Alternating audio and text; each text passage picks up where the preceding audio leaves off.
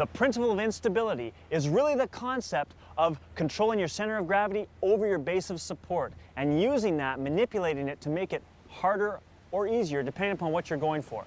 We're gonna use Randy and the chest press to show you this. To begin with, we're gonna start off in a nice steep position with a wide stance. This gives him a lot of stability and allows him to really focus on strength.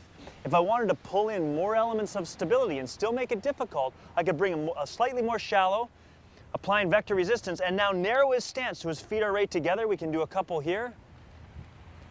Next, we're just going to have him bring his foot straight off the ground and do a couple there.